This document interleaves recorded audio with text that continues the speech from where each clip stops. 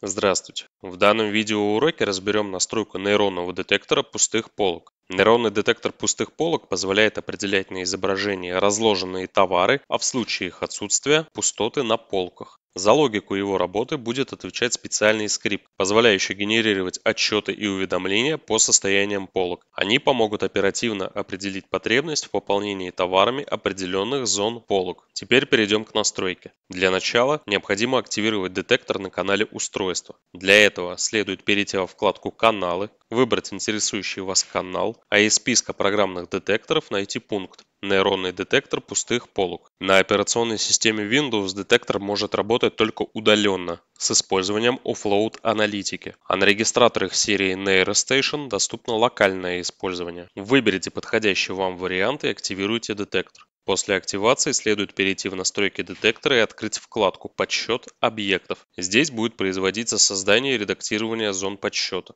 Под зоной подсчета подразумевается область на изображении, расположенная в самом первом или нижнем ряду полки. В этой области будет происходить распознавание товаров. Они будут помечаться рамкой красного цвета. Расположение зоны подсчета обуславливается следующей логикой.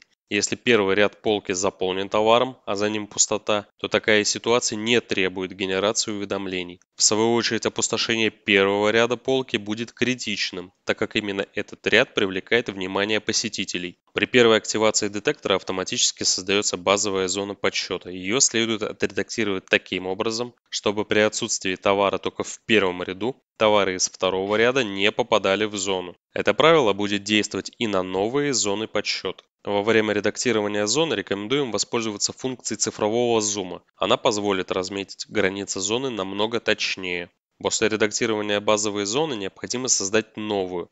Для этого следует нажать на кнопку «Создать новую зону подсчета». Зона может состоять лишь из четырех точек и формируется с помощью нажатия левой клавиши мыши по области. Формирование зоны следует начинать с верхней точки и продолжать по часовой стрелке, а углы создаваемой зоны должны быть прямыми. Таким образом, мы должны вернуться к первой созданной точке и замкнуть область. Нарушение этой последовательности может привести к неправильной работе детектора. При размещении зоны будет действовать еще одно важное правило. Зона не должна захватывать ценники и перегородки между полками. Должны захватываться только товары. Если заметили нарушение этого правила, просто отредактируйте проблемную зону. После правильной разметки зоны необходимо отредактировать ее основные параметры, такие как количество размещаемых продуктов на полке и размер пустоты. Указав количество продуктов на полке, мы помогаем детектору рассчитать примерную ширину одного товара, а зная ширину, детектор определит, скольких товаров не хватает на полке.